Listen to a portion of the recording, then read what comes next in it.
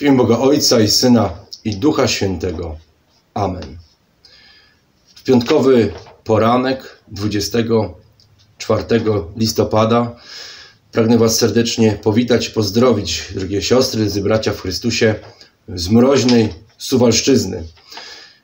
Dziś chcemy ten poranek rozpocząć wspólnie od słuchania się w Boże Słowo, które książeczki z Biblią na co dzień zaczerpnięte jest z księgi proka Zachariasza z 13 rozdziału, 9 werset oraz z księgi objawienia z 21 rozdziału, wersety 3 i 4.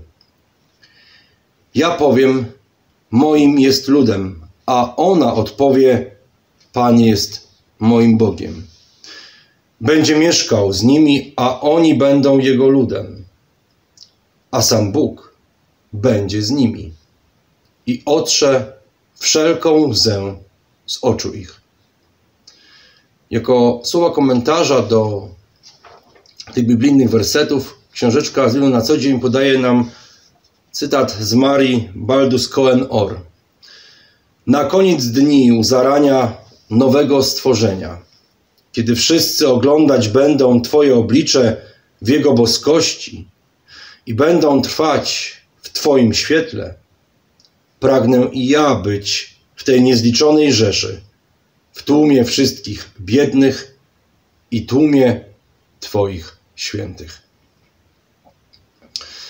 Drogie siostry, drodzy bracia w Chrystusie Jezusie, dziś chciałbym, byśmy chwilę przystanęli na słowach zaczerpniętych z Księgi Objawienia, z ostatniej księgi, jaką znajdujemy w naszych Bibliach by zrozumieć może głębię tych słów, tego, tej wizji przyszłych czasów, warto jest spojrzeć na sam kontekst napisania tej księgi.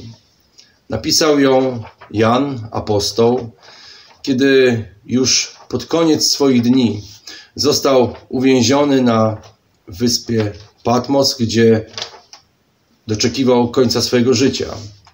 Uwięziony za to, że głosił Chrystusa.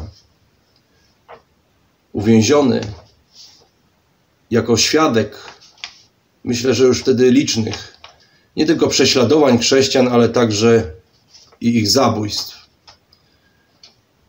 W tym świecie, w którym głoszona Ewangelia przybijała się przez brutalność, niezrozumienie, złość i sił rządzących, ale także i ludzi, którzy nie potrafili zrozumieć i nie chcieli przyjąć orędzia o Chrystusie.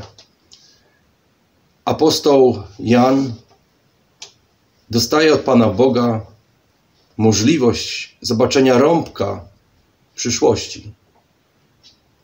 I myślę, że te słowa, które dzisiaj trafiają do naszych serc, mogą być czymś, co i dla nas żyjących w różnej kondycji, bo i ten dzień, który dzisiaj rozpoczynamy, może przynieść nam wiele wspaniałych chwil, ale także może słuchamy tych słów wieczorem po ciężkim dniu i szukamy na nowo sił i nadziei.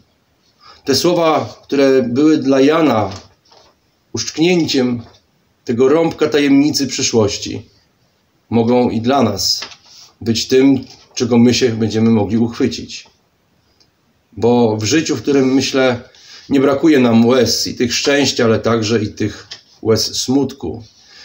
Przydaje się uchwycić nadziei, która mówi o tym, że kiedyś przyjdzie czas, kiedy to wszystko się skończy. Kiedy będzie nowa ziemia, nowe niebo, kiedy będziemy żyli bez łez, bez smutku, bez śmierci, kiedy Pan Bóg weźmie nas wszystkich do siebie. Dlatego pragnę życzyć, by te dzisiejsze słowa miały tą siłę oddziaływania, jaką miały zapewne na apostoła Jana i na tych, którzy naprawdę w bardzo ciężkich warunkach życiowych tych słów słuchali i przyjmowali je nie jako jakąś bajkę, czy opowiastkę, czy jakieś proste, dobre słowo, którym ktoś miał się posilić, ale przyjmowali przede wszystkim jako prawdę. I te słowa będą dla nas prawdą i sprawią, że dzięki Duchowi Świętemu, Jego darom, dzięki temu, co wywalczył dla nas Chrystus na krzyżu, dzięki miłości Boga, przejdziemy przez i ten dzień, i kolejny tydzień, i miesiąc, i rok, przez ten cały czas, który Bóg każdemu z nas według swojej woli udzielił tutaj na ziemi. Niech więc dobry Bóg pobłogosławi nam ten dzień, a może południe, a może wieczór, wtedy, kiedy słuchamy tych słów. Zostańcie z Bogiem.